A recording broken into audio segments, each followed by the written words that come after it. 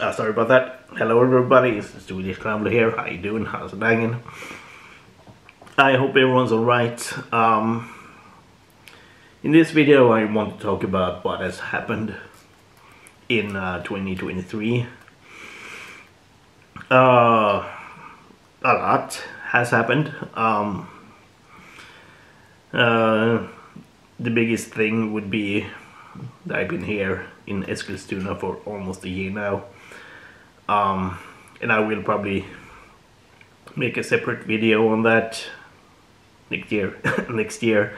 Um, and at least traveling wise, um, I've only been outside of Sweden twice this year. Um, the summer trip with my older brother and then uh, England in uh, late December, early November.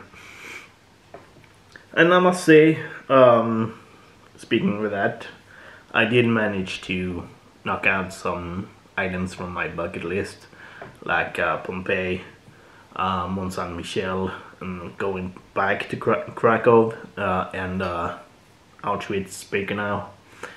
Um, it's it, it went well. It became the third uh, item I went back. Uh, I've been to twice that I've gone back to, and uh, that is quite surreal. Um, that place is. uh, it is very surreal. Um, so yeah, um, and then uh, going to Stonehenge as well uh, earlier.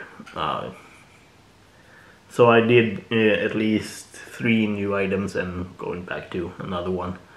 Um, and also traveling wise, it has been um, a lot of domestic trips as well. Uh, Strängnäs, Stockholm a couple of times. Um, Örebro, Västerås, Arboga, uh, Uppsala. There, there has been a lot of domestic trips as well. Um, and I must say, at least living here, um, uh, it gives me the opportunity to go to these uh, uh, places domestically. Um, and uh, I must say it has been quite nice. Uh, some cities are quite a surprise, I must admit. Um, there has been beautiful places, um, at least in a decent distance. Just a couple of hours of train. It's quite, it's quite nice. And uh, so yeah, um, at least personal wise, um, the work is it's going okay. Um, there has been some uh,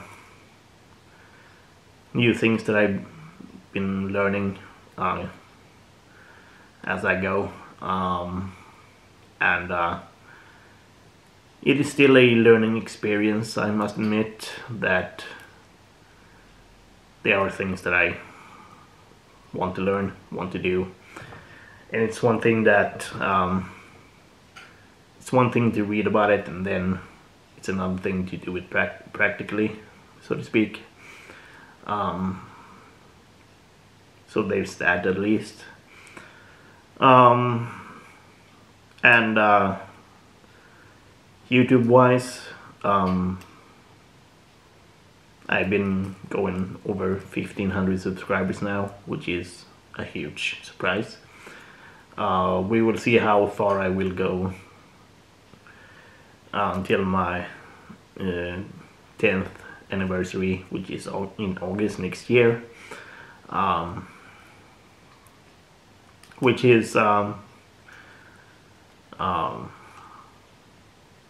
which is uh, huge because I didn't really expect to do this for 10 years.